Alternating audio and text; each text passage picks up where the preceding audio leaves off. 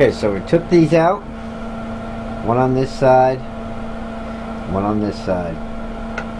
Okay. Giving our nose a little bit more shape. Now I could uh, clean that up with my detail knife. If I like, or just go right to my gouges, but uh, I'm going to get some of these out here at the top to find that a little bit better remove some wood so I can set those. Well, this is going to be painted, so I really don't need to put eyes on him. Okay. I really don't. And right here, at the top there, I'm going to clean that up a little bit more. I'm trying to keep them fairly symmetrical. Okay. And there's a little chip over here. I'm going to remove that chip clean up around the nostril. You know, wherever you clean up as you go. You see something you want to adjust.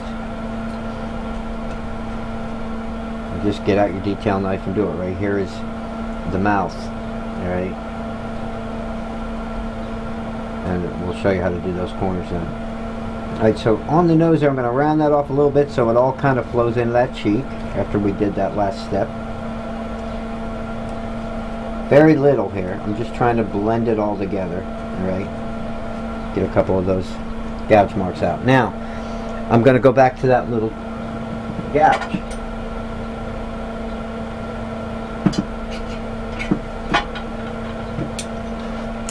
These are Flexcut tools that I'm using for this little piece of basswood. So what's nice about this handle is they're they're just interchangeable. I've showed this before on other videos, but you buy yourself a handle. You can buy these tools one at a time or buy the whole set. And what's really nice is you can end up with a whole bunch of different sizes and stuff that you want. So I'm going, this is the little one, right, that we did the nostrils with. The same gouge. I'm going to lay that gouge, all right, upside down, invert it, all right, come over to the side here and push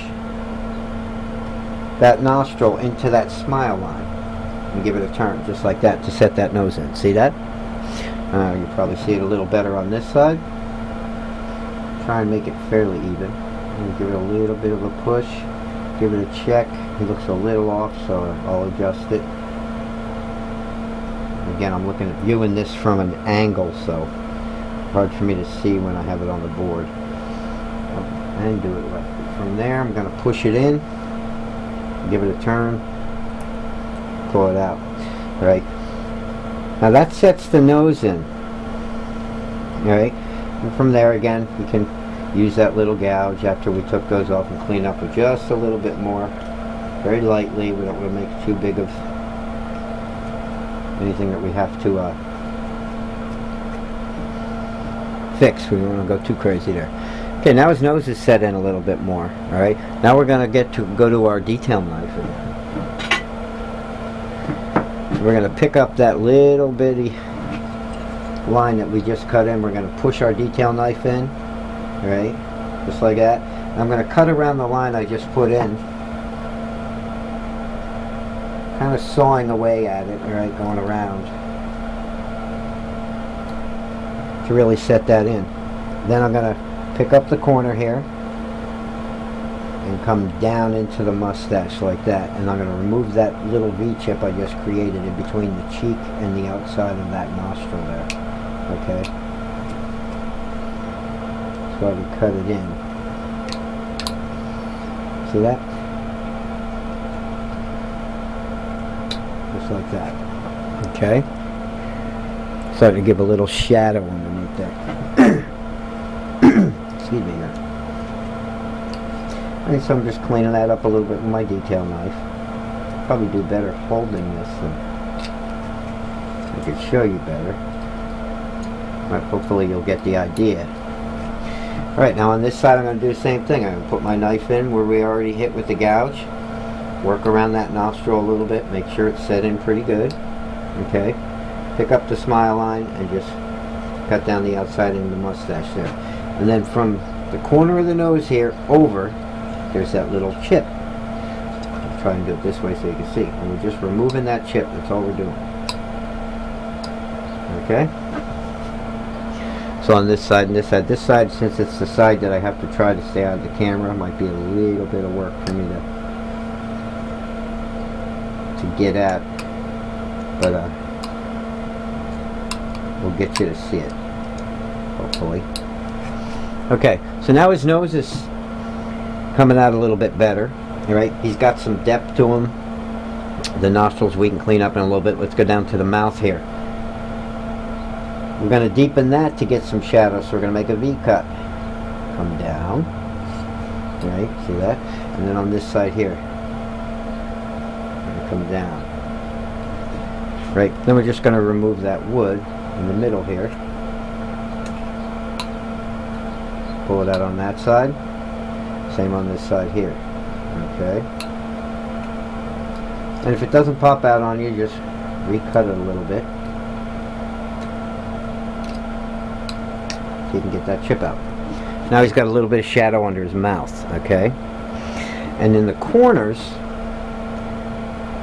right, right underneath the mustache we're going to cut. You see where I'm doing that, right? And right here. And we're going to make the lip stand out a little bit more in the corner by taking wood out right there. Again. Here. Okay. Under the mustache. and where the lip meets it right there and then from the side of the lip over and underneath the mustache remove that little piece of wood there when it comes out you'll have a little more shadow there and the mustache is separated from the lip okay? Same on this side we're going to do the same thing. I'm going to bring it up to where about I want the lip to go into the mustache there. Come over to the side. Cut your little corner there following your mustache and then pop that out. Okay, so now his lips standing out, right? We have shadow in the corner lip, shadow in the corner lip. This is, this is all about shadows, guys, okay? The more shadows you can create, the better the carving will look, the more depth he'll have. Same with up here under the hair. I'm going to uh, dig that in a little bit more with my knife. I'm going to score a stop cut, like that. Come back up, make a removal cut. Okay. Stop cut. And a removal cut. Bring a little bit more depth into the face going up and under the hair there. Right? Just like that. okay now when you view it view it directly from the front I got dust in my throat from all that sanding without my dust collector on even had a dust mask on I'm gonna come over to this side same thing come down if you're not sure stop cut it twice right in from the side or the inside make your removal cut get a little shadow up under there you don't like it uh, cut it again like I said, get a little more out. Right? So we're just defining up there at the hair. At the top, I'm going to come down just a little bit and let that meet there. Or cross at the top and cut into that stop cut. Okay? Same over here. Show you what I did on this side. If you didn't see it. I'm coming down, making a stop cut to the forehead, alright? I'll bring that, continue it across, just so I can tuck some of that hair up underneath the top there a little better. And I'm attaching that to the hairline, right there. Right? I can get that wood out from under there with just a little removal cut. Then I'm going to come across and tuck that hair up under that stop cut. If I can do it with my arm out of the camera, I'd be happy. Yeah, we got a removal cut going on. I'm going to run the top, the knife across the top one more time to pop those out. May have to do it again because I'm not liking that. I want to keep it clean.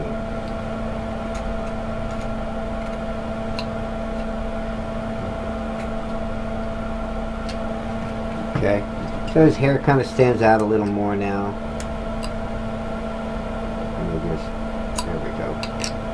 Get that chip out of there. Alright, so now his hair's standing out a little bit more. It's a little more prominent on top of his head.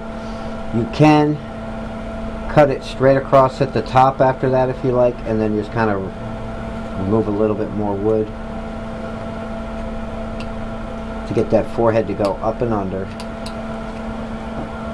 with a little more shadow.